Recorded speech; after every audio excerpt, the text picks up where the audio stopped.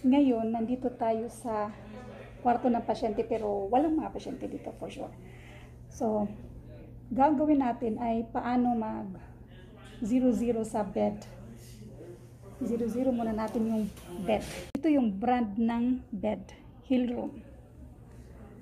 So, nandito yung mga kwan. Yan.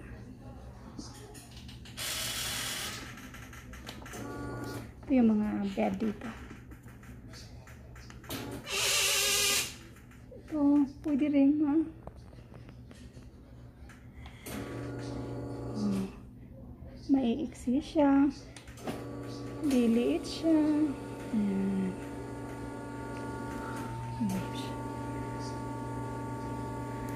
So, i-zero-zero muna natin ito habang wala pang pasyente. Zero. Wait. Yan. Bed position daw.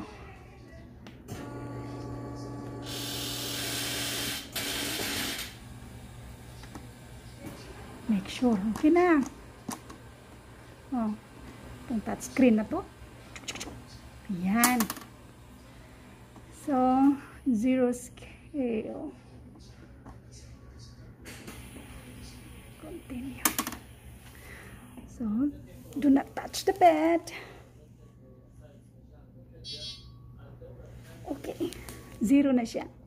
So, paglagay ng pasyente dito, pwede na natin siyang i-weigh. So, baba muna natin. Pwede to siyang malak. Ganyan o. Lock. Tapos, so, lock na. Hindi na siya ma-up and down. Wait. Ayan.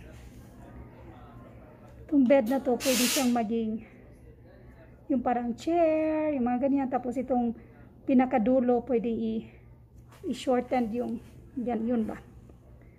Pwede siyang i-shorten. Tapos pwedeng i- taasan. Yung pasyenteng ilalagay natin kasi dito is medyo matangkad. Kaya taasan natin. Itong bed na to ay air mattress na to. Air mattress. So, ito pwede rin dito. Ayusin muna natin.